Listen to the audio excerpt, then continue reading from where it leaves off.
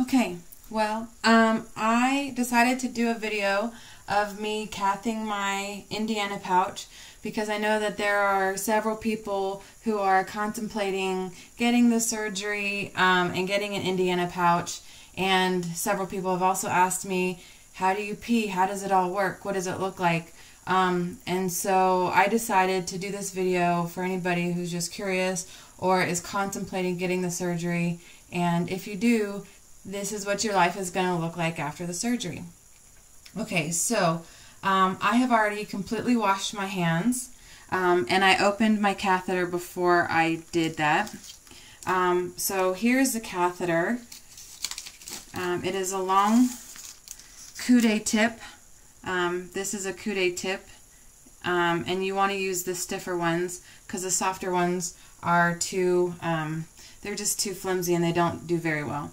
Um, and then also you'll need um, a thing of lubricating jelly or just lube.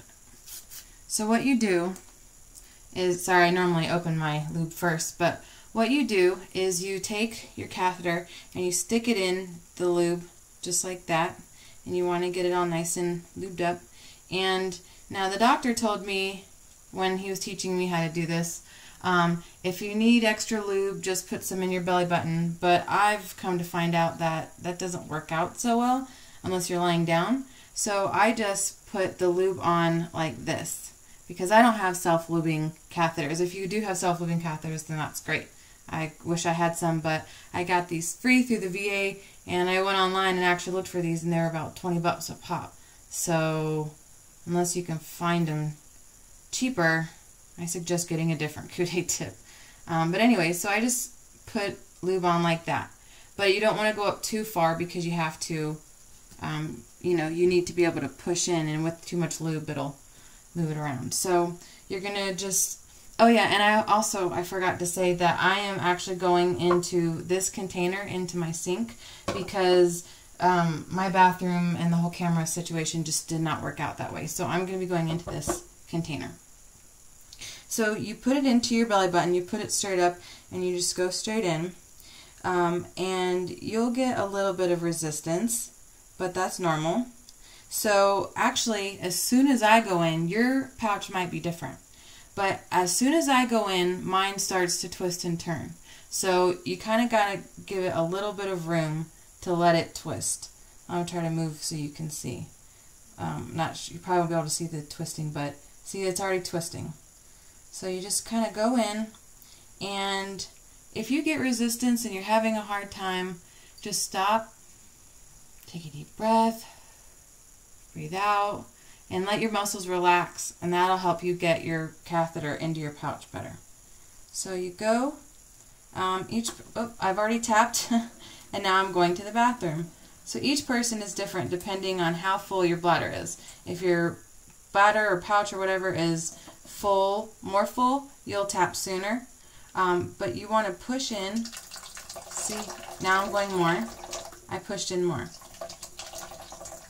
So you go and basically until it stops. Sorry guys, I'm peeing in front of you. Normally I would make a video of me peeing and put it on the internet, but I figure for the case it's okay. So you're going to keep going in until your catheter is about this far in. You don't want to go too far in, but you don't want to go too far out, obviously. But yeah, until you have about about two and a half inches exposed. See, I still got a little bit coming out, so I'm just going to push in a little bit more. So then when you're done, you just kind of pull it out. And you'll get mucus in your pouch too for a while because your pouch is obviously made of colon. Um, and also don't be upset or surprised if you get some blood, a little bit of blood. That's normal. But obviously if you're bleeding too much, you want to call your doctor. So I'm done pretty much. And you just pull out so easily, like such, until you're done.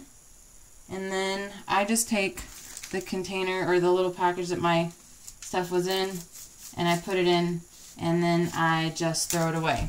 So yeah, this is this is what your life will be like um, if you get the surgery. And this is all the stuff you'll need. And just in case anybody is curious, um, this right here is, uh, I'm wiping off the lube that came out. This right here is on my scars to help them heal better. Has nothing to do with the surgery. So anyways, um, that is what your life is like after Indiana pouch surgery. So if you have any questions, let me know.